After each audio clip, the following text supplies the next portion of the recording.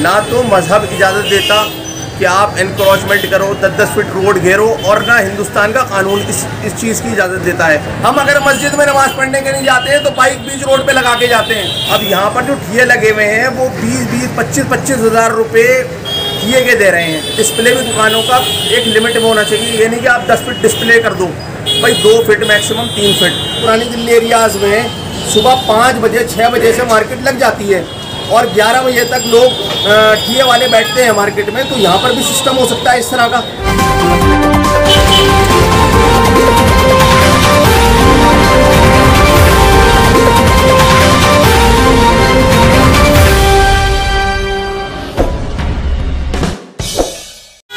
दोस्तों, सबसे पहले आप सब लोगों को रमज़ान की बहुत बहुत मुबारकबाद। आप जामिया नगर ओखला की जिस कॉलोनी में भी रहते हो अगर आप रमज़ान को इंजॉय करना चाहते हैं तो बटला हाउस जाकिर नगर ज़रूर आएँ। लेकिन एक बात ध्यान रखिए, जब आप बटला हाउस आएँ, जाकिर नगर आएँ तो ये बात सोच के आएँ कि यहाँ मिनटों का सफ़र आपका घंटों में तय होगा। जो परेशानी होगी, जो ज़िल्लत आपको मिलेगी, उसे देखकर आप हैरान हो जाएँगे। इसकी जो सबसे ख़ास वजह है, वो है गलत तरीके से पार्किंग और दुकानदारों का रोड पर ठिया लगाना। सबसे पहले मैं रमज़ान की मुबारकबाद पेश करता हूँ आप तमाम लोगों को। देखिए, दो साल से जो रमज़ान थे, वो कोविड की नज़र हो गए। और अल्लाह का बहुत बड़ा करम है कि इस बार हालात साजगार हैं और हमें मौका मिला है अपनी दुकानें खोलने का। तो हम खुश हैं और अल्लाह अगर हमें इस बार मार्केट भी आप देखें कितनी रौनक है माशाल्लाह से। और लोग अपने कारोबार में लगे हुए हैं, काम चल रहा है। खतीब साहब, ये बताइए, रमज़ान के दिनों में बाज़ार में रौनक आती है अच्छी बात है, दुकानदारों का दुकानदारी चले, वो भी अच्छी बात है। लोगों को सामान ख़रीदने में आसानी हो, ये भी अच्छी बात है। लेकिन दुकानदार जो रोज़ दुकानें बाहर निकाल लेते हैं, या ई रिक्शा वाले हैं, उनकी वजह से रमज़ान जो रहमत का महीना है, वो जहमत का महीना बन जाता है। इसके लिए क्या आप लोगों ने कोई तैयारी की है? देखिए, मैं सबसे पहले तो ये कहता हूँ कि हम किसी की रोज़ी रोटी के ख़िलाफ़ नहीं हैं। लेकिन हम ये चाहते हैं कि सिस्टम के दायरे में काम होना चाहिए। ना तो मज़हब इजाज़त देता कि आप इनक्रोचमेंट करो दस दस फिट रोड घेरो और ना हिंदुस्तान का कानून इस इस चीज़ की इजाज़त देता है। तो जो लोग ये लगा रहे हैं, वो सरासर गलत कर रहे हैं, बल्कि दूसरे लोगों पर जुल्म कर रहे हैं। और उनका मफाद जुड़ा है क्योंकि वो टीए के पैसे लेते हैं। वो दस दस हज़ार, पंद्रह हज़ार, बीस हज़ार रुपये लेते हैं। और ये जो ठिए वाले हैं ना इनको लोग देखते हैं गुर्बत की निगाह से कि ये लोग गरीब हैं परेशान हैं। अब यहाँ पर जो ठिए लगे हुए हैं वो बीस बीस पच्चीस पच्चीस हज़ार रुपये ठिए के दे रहे हैं। और मार्केट में बहुत से ऐसे कॉम्प्लेक्स हैं जिनमें दुकानें खाली पड़ी हैं। तो अगर ये ठिए हट जाएँगे तो किसी की रोज़ी रोटी पे असर नहीं पड़ेगा। जो मार्केट की दुकानें खाली पड़ी हैं कॉम्प्लेक्सेस की वो सारी आबाद हो जाएँगी और सब लोगों का काम चलेगा। अब इसकी वजह से इतना मुतासर है, मैं बताऊँ, पहले यहाँ पर बाहर का कस्टमर आया करता था। कालकाजी के लोग आते थे, नोएडा से आते थे और श्री नवाजपुरी से आते थे दूर दूर से लोग आते थे, लेकिन अब कस्टमर सिर्फ़ लिमिटेड रह गया हमारे एरिया का। जो शाहीन बाग का कस्टमर है, वो भी यहाँ पर आने में कतराता है। एक ज़माने में खतीम साहब ऐसा था कि जाकिर नगर और बटला हाउस के अलावा यहाँ कोई मार्केट ही नहीं थी। शाहीन बाग भी बहुत नया नया बना था, बहुत मशहूर नहीं था। और दूसरे इलाके अबुलफजा वगैरह मार्केट बहुत सब लोग यहीं आते थे। लेकिन इंक्रोचमेंट की वजह से अब लोग यहाँ आने से तोबा करते हैं परेशान हो जाते हैं वो आना नहीं चाहते वो। इस बारे में क्या कहेंगे आप? मैं वही तो कह रहा हूँ देखिए यहाँ पर तीन चीज़ों पर कंट्रोल अगर हो जाए तो ये इलाका सही हो जाएगा। सबसे पहले तो यहाँ पर ठिए जो दुकानदारों ने लगवा रखे हैं अपने आगे और जो आ, रोड घेर कर नाजायज़ पंद्रह बीस हज़ार रुपये वसूल रहे हैं ठिए वालों से। वो सरासर गलत ठीक है?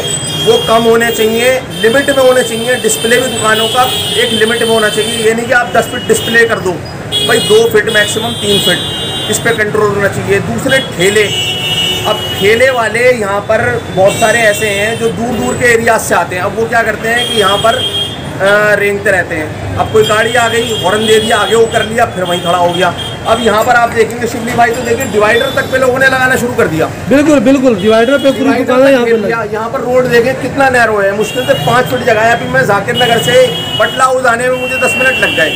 तो हमने इसके लिए एडमिनिस्ट्रेशन को हमने काउंसलर को कई दफ़ा सुझाव दिया कि भाई यहाँ पर जो ठिए वाले हैं उनकी एक टाइमिंग सेट हो जानी चाहिए। लोग कहते हैं रोज़ी रोटी का मसला है हम भी जानते हैं। कि भाई रोज़ी रोटी का मसला है, दो साल से कारोबार बिल्कुल ठप है लोगों के। तो सुबह जैसे पुरानी दिल्ली एरियाज़ में सुबह पाँच बजे छः बजे से मार्केट लग जाती है। और 11 बजे तक लोग ठिए वाले बैठते हैं मार्केट में तो यहाँ पर भी सिस्टम हो सकता है इस तरह का।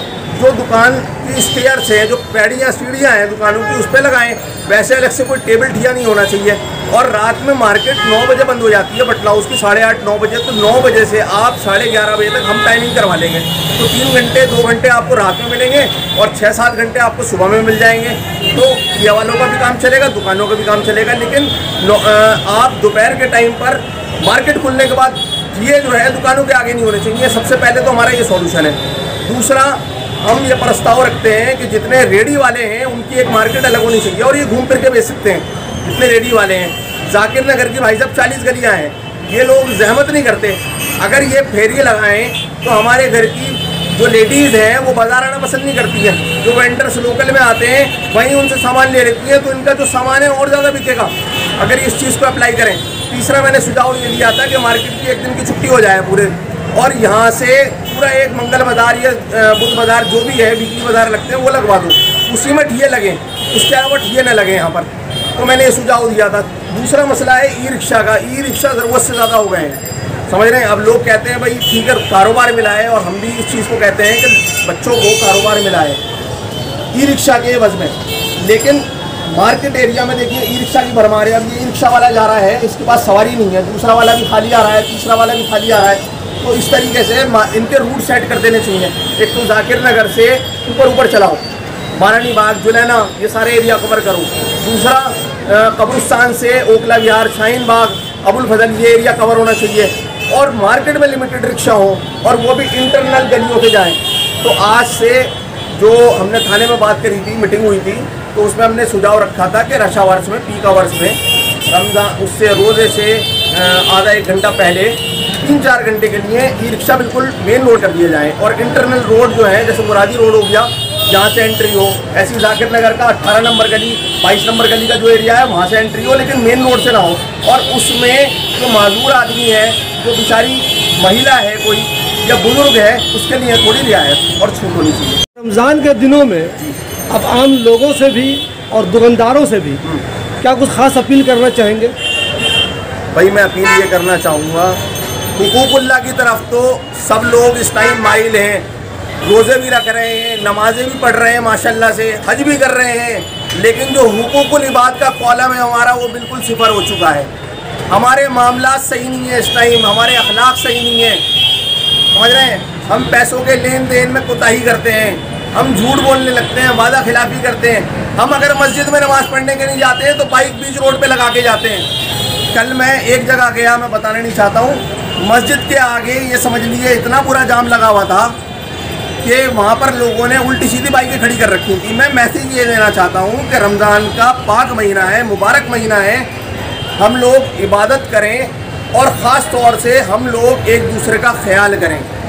हम एक दूसरे के साथ आजीज़ी के साथ पेश आएँ।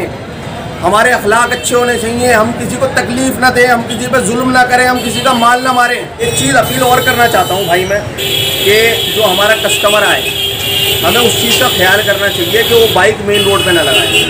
मैंने ये बात होटल वालों से भी बोली थी और मैं तमाम दुकानदारों से कह रहा हूँ, क्योंकि आप खुद देखें शिवली भाई हमने दुकान के आगे अपना आठ फीट का डिस्प्ले कर रखा है, ठिया लगवा रखा है। उसके आगे हमारे कस्टमर की बाइक खड़ी होती है, क्योंकि उसको जगह नहीं मिलती है।